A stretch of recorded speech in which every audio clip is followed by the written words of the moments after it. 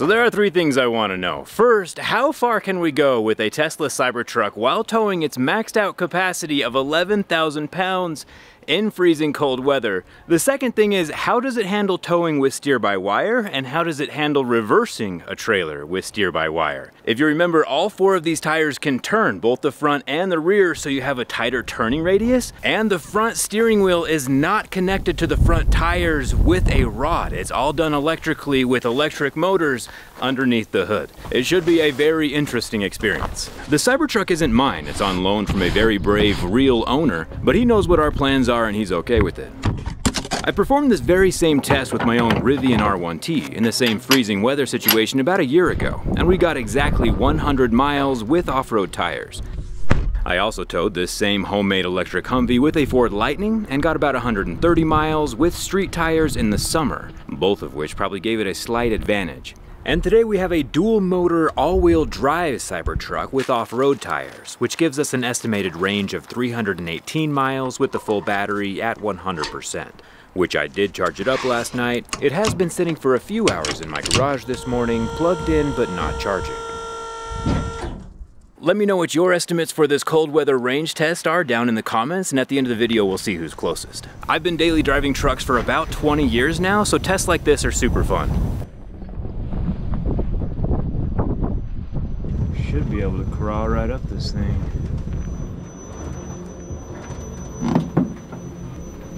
Easy.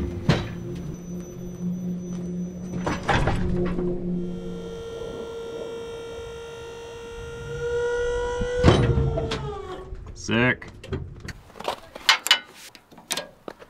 That's not going anywhere. This setup looks sweet.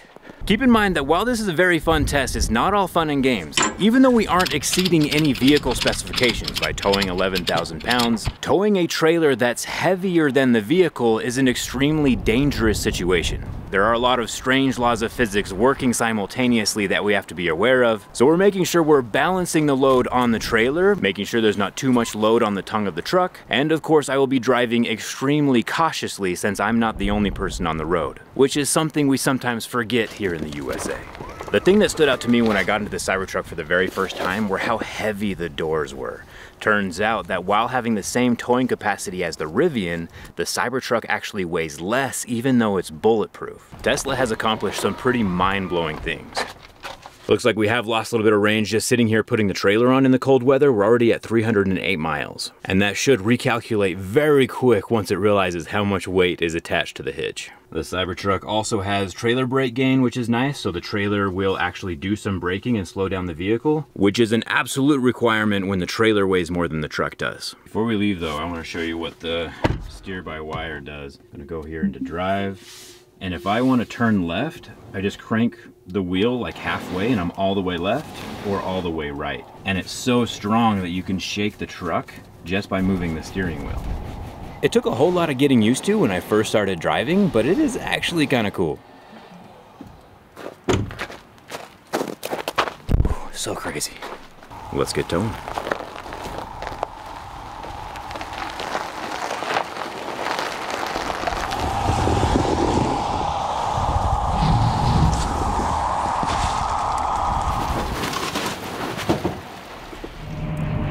So we have gone a total of four miles and the range has dropped about nine miles. So that's about on par for what I would expect. I'm surprised it hasn't recalculated in towing mode all by itself because both the Lightning and the Rivian calculate and drop the range by like half as it's like weighing the trailer and seeing how much energy is being used. But the power is definitely there like every other electric vehicle. This thing tows like a champ. One way you can tell that this uh, isn't totally fleshed out yet is that in towing mode we are just there's just a car behind us. There's no animation of a trailer or anything.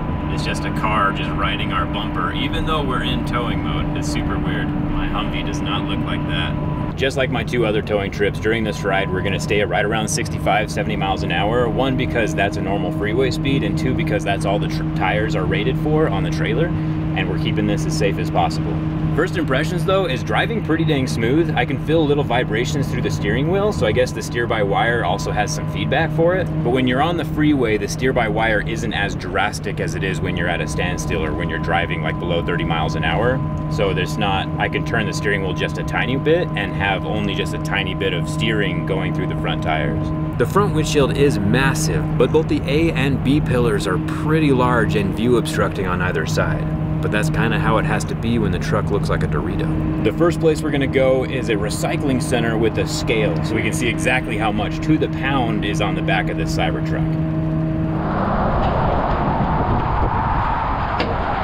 We have the rear wheels off of the scale, so only thing on the scale right now is the trailer and the Humvee, the EV Humvee, and we have the weight right here at 10,400 pounds which means with the 1,000 pounds of tongue weight, we are at 11,000, just slightly over, but all within margin of error, of course.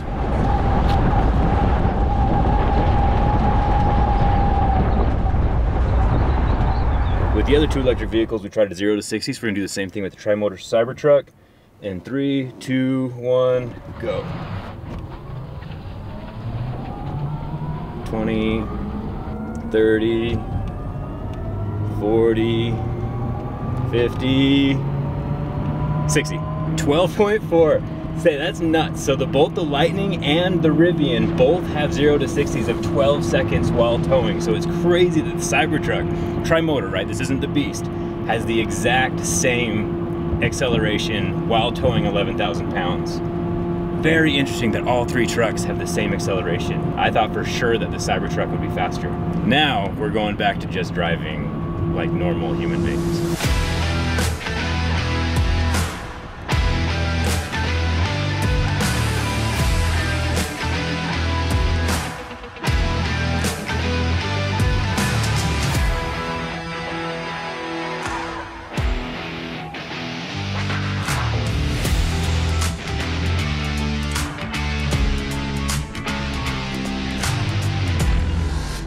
I've driven electric trucks for quite a while, and one thing I noticed while I was driving with Dan all the way up here from LA before we started doing the towing test is that this Cybertruck sounds far different than the other two. We have the electric whine, but there's also, listen, there's almost like wheel noise, but it's not wheel noise. It's it only happens when we're accelerating and decelerating. It's like a kind of a deep hum I don't know if you can hear it or not. I'm not sure what it is, but the Cybertruck has a different noise beyond just the electrical sound of the motors winding up. And another thing, so the the towing graph is super wonky. Check this out. So right now it thinks, uh, go ahead and swivel it around. It thinks that there's a semi truck. That's wild. It doesn't have a towing animation or a towing trailer like the Rivian does. It just has a semi truck mounted behind us if you want to know where Model 3s come from. After going 25 miles and towing 11,000 pounds, I do wish there was more information on the towing screen. What it gives us right now is like the trailer brake gain and a trailer brake boost, but it doesn't really tell us how much power we're using. Like even the Model X has a little graph, like a power consumption graph up in the top corner, and that's the minivan of Teslas. Car next to us is filming us. The only information it really gives us, well, first of all, there's no information above the steering wheel. The only information it gives us is the speed. There's a little line, a few pixels wide of the power expenditure, and then the regen that turns green if we start slowing down. And don't get me wrong, the regen is really cool because we're taking the slowing down of the trailer, like the weight of it, and putting that energy back into the battery instead of using up our brakes. So it's super efficient, it's super cool, but a two pixel wide line leaves much to be desired. But that's just Cyber Jerry's opinion. What about Rivian Jerry? Rivian Jerry here. Indeed, we do have a dashboard and a front power graph. But also, Rivian added a mind-blowing amount of information to their center screen, where we can see elevation, individual motor and battery pack temperatures, estimated trailer weight, and even a compass. Rivian has vastly improved the towing situation since our previous test. Lightning Jerry here, even the Ford Lightning has power distribution and temperature graphs. At this point in time, the Tesla Cybertruck appears to be keeping towing information minimal. Back to you, Rivian Jerry. I agree, Lightning Jerry. Cyber Jerry, what else do you have for us? That was a little weird, but to be fair, Tesla does have all of the data they need to make some killer towing animations and data screens, just like Rivian did. Tesla could do an over-the-air update at any point and fix all of these software glitches and just make epic animations, so I'm not too worried about it right now. But it is interesting seeing how it looks with these first few Cybertrucks released. Hit that subscribe button, it is free, and I will keep you updated if and when Tesla updates those animations.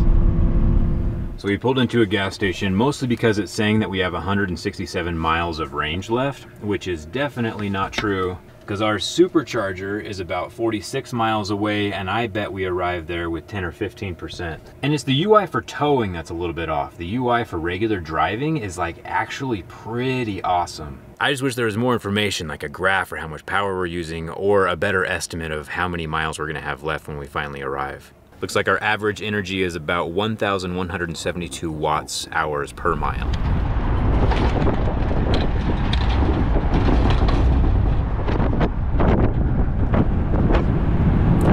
We officially have 50% battery left, and one thing that I'm not used to yet, or one thing, I, I, mean, I just don't like it. It's hard to say you don't like something about a truck that's so unique, because it's something that you probably might get used to down the road, but the rear view mirror, I'm not a huge fan of. One, it feels like plastic. Two, it does not work with the tonneau cover down. One interesting thing though is that I can operate the tonneau cover while the truck is running. The tonneau cover while locking the bed is also for aerodynamics because aerodynamics is a huge deal with electric vehicles needing to be so efficient. That's why there's the aero covers on the tires. There's so many little tweaks done to make this truck more aerodynamic so that there's less drag as we're driving down the road. Like even the windshield wiper, the giant mono wiper is positioned vertically so that it's not catching air in the horizontal placement at the bottom of the windshield. However, with the Hummer on the back, aerodynamics is the least of our issues. So I'm gonna open up the tonneau cover and we'll see if the rear view mirror, what that looks like looking out the back tiny window. And I'm gonna say as bad as the rearview mirror on the screen is, it's better than the rearview mirror in real life. If the mirror feels like one of those, you know, $1 plastic mirrors you give a little kid, uh, like a what is it, a funhouse mirror, is so tiny and so kind of distorted on the edges, I'm just gonna leave the tonneau cover closed. In the top left, it's saying we have 120 miles of range left, but in the navigation window, it says we'll arrive at the supercharger with 10% battery left, which is a little nerve wracking. And it's interesting that the navigation is doing a better range calculation than the actual battery percentage up here at the top driving through Utah, we have two options. One, we can stop at the Provo supercharger here in probably like 10 miles or so, or we're going up to the Draper supercharger because the navigation is saying we're gonna arrive with 8%. So we're trusting it to see if we can get to the Draper supercharger, which is much faster. I have my doubts though. 95 miles range, and it says 7% when we finally get there. That percentage is dropping fast though. I am dropping my speed down to 60 miles an hour though, which is a little bit slower than everyone else on the freeway. Um, but it's if we're gonna make it, I have to go a little bit slower. Air resistance and rolling resistance are massive, and so the slower we go, the more efficient we are, and 60 miles an hour is what we have to do to make it. 78 miles of range, and then, but navigation says we have 23 miles left, but we're gonna arrive with 5%. Nerve wracking. We have 10 miles left to go and 11% of our battery. 10%. oh boy. Uh,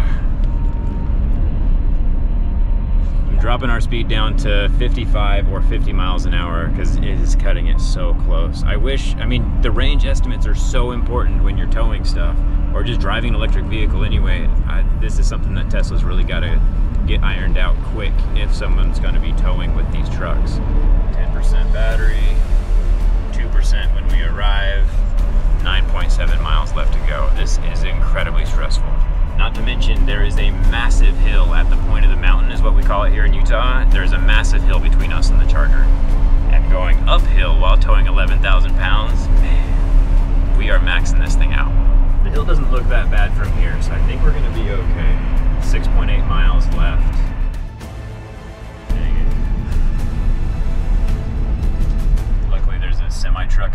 In front of us that has its flashers on. So we're just gonna sit back here and uh, enjoy what is it called? The draft, the drift, drafting. Drafting. We're just gonna yeah. draft off of this guy. It is nice as we're going down the point of the mountain, though. We get some of our regen back with that little tiny green. Rolling up to the Tesla superchargers in Draper, it looks like pretty much all of them are full and none of them have the ability to charge a truck with a trailer attached to it. So we are gonna have to drop the trailer. And since the charging port is on the driver's side rear tire, we'll have to back it into a stall to plug it in. So right here, 2% left. And if we come over here, so we went a total of 90 miles, 108 kilowatt hours used. Average energy is 1,193 watt hours per mile. I don't know what we were nervous about. If this ended up dying, we could have just taken the Humvee off and then towed the Cybertruck with the Humvee. Problem solved, maybe. It's interesting that the quad steering remains engaged as we're backing up the trailer or even driving a trailer at all. I almost assumed that they would disengage the rear tires from turning just because of the extra stress and strain on the suspension system. But here we are with the quad steering still fully active while reversing and driving with an 11,000 pound trailer. It's basically the same as backing up a regular trailer, just more responsive. And the turns happen faster, so you just turn the steering wheel less.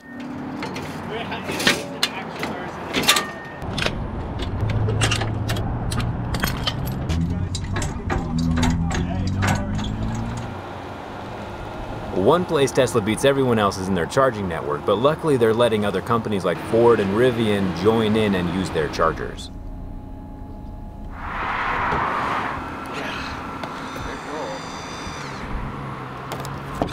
We are charging at 215 kilowatts, getting 551 miles per hour. We're at 20%, but in 40 minutes we will be at 80%. Which is more than enough to get us home. One thing that I thought would help the Cybertruck's towing range is the 800 volt battery pack. I figured higher voltage would make the power more efficient. Those 800 volts might be better for charging speed and not necessarily for towing efficiency. However, filling up my tank with electricity last night to 100% only cost me 13 bucks, which is nice. So officially we got 90 miles of range while towing 11,000 pounds. Not quite as good as Rivian and not quite as good as the Ford Lightning, but still incredibly fun. It is a bummer that we had to drop the trailer, but I imagine, you know, most people aren't using EVs for towing in the first place, and Tesla is putting pull-through chargers in some locations, so I imagine we'll see more of them. The Cybertruck was a blast to drive, and it is an incredible vehicle, but the more I drive it, the more I like my Rivian. I'm still gonna put it through some more tests, so make sure you hit that subscribe button, and thanks a ton for watching. I'll see you around.